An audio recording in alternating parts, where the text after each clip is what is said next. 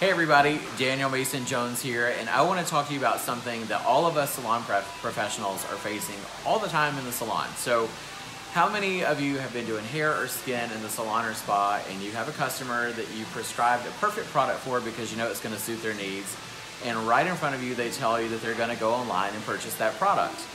First of all, not only does that undermine our professionalism as stylists and spa estheticians, whatever it is that we do inside the salon with our formal education and training, but also, let me tell you what happened. Now, look at these two products. Probably to you, they look exactly the same, right? Now let you zoom into this product. And we zoom into this one. The name of this one was Bain de Force. The name of this one is Bain Force Architecture. Now, I'm a professional stylist and I've worked with Kerastase for almost 20 years now. And I want to let you know that when I started doing hair with Kerastase, this line is absolutely amazing. I swear by it inside my salon. These products have been around for a while. However, this is the new formulation. With that new formulation came the new packaging, which is also this package. This is what happened when a customer decided to purchase the product online away from the professional stylist.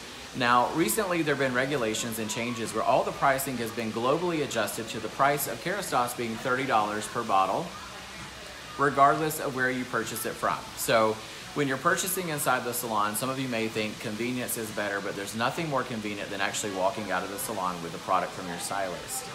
I always talk about purchasing product from inside the salon because number one, we know exactly how long this product has been on the shelf and we know that there are regulations and standards in which we have to operate by as professionals. We know the products are stored in proper heating and cooling conditions, in certain lighting conditions, and we're looking out for you. So what does this mean for you when you purchase online? When you're, when you're purchasing online, there's so many things in these products that you may not even know what's inside.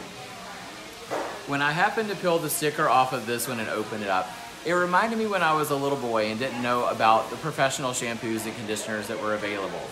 I can tell you inside this bottle is something very similar to a shampoo that I was familiar with as a child. It was called Pert Plus. I think the value of that shampoo was about $4 and you could buy it from any local drugstore. This product is $30 and I know for a fact it actually works inside the salon. It works on repairing hair, restoring the hair, giving everything that you need to maintain like the perfect look. The problem is the consumer doesn't know the difference. So what I'm gonna ask you right now is if you are a stylist, please, please step up to the plate, level up your education, your dialogue with your customers inside the salon and let them know this is happening.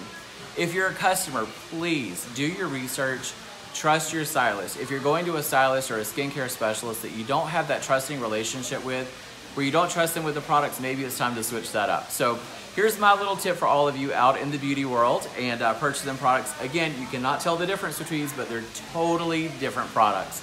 So if you like this video, please make sure to share this. Let as many people know as possible that what you're buying online is not always what it seems. Until next time, I'm Daniel Mason Jones, and we'll see you soon.